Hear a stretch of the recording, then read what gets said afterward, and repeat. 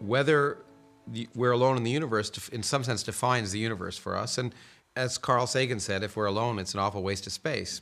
But at some point, the question comes down to an interesting question of, of how rare is intelligence? I mean, it could be, and I happen to believe that since all the conditions for life exist elsewhere in the galaxy water, organic materials, light, all of that that life is ubiquitous. But the key question is is intelligence an evolutionary imperative? Do all routes of evolution lead to intelligence? And on, on Earth, they did.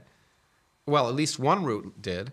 And, it, and where it goes from here, we won't know. But that happened by a series of evolutionary accidents. Isn't that a contradiction? Either evolution, through its imperative, causes intelligent life, or it's an accident. It can't be both. Is Well- it, if it's an imperative, Well, I mean, that sounds like theistic evolution. Well, by imperative, I mean that all roads lead there, regardless of how random they are. wow, that's a powerful comment. I don't know. I mean, I think all streams will go downhill, but I don't think they're being guided, uh, uh, uh, other than by the force of gravity. And so there are, are there physical laws that inevitably cause intelligence to be selected naturally uh, in a way that allows, inevitably, if you have lots of different life forms, the intelligent life form will eventually come and dominate the planet, ruin the atmosphere, build huge cities, etc. I know a whole bunch of theologians who could not have said that better.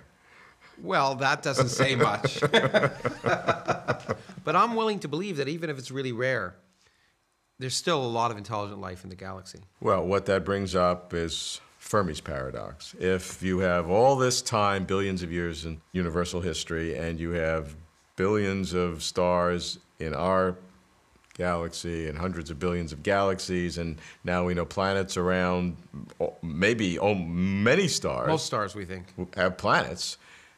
Where are the aliens? Okay. Well, we live in a random corner in the far edge of the Milky Way galaxy.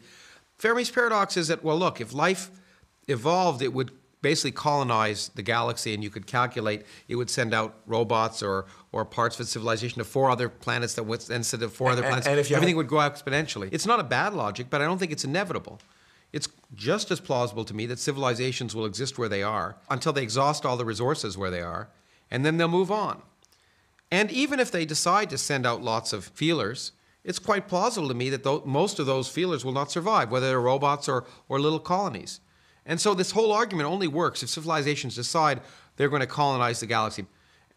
It's not so clear to me that it's inevitable that you have to colonize the galaxy. As I say, if most of But your you don't need most. If you could make the calculations on one or just a handful of civilizations that have a similarity to us that do want to colonize or have a need to colonize, and and and this expands exponentially, and then if you have the whole universe in But you so require the exponential places, expansion. That's the key point. You require that each civilization send out a certain number of colonies, which then send out a certain number of colonies, which send out a certain number of colonies, and they all are sent out at a relative regular pace, and most of them survive. And we just don't know if traveling through space is very difficult and deadly.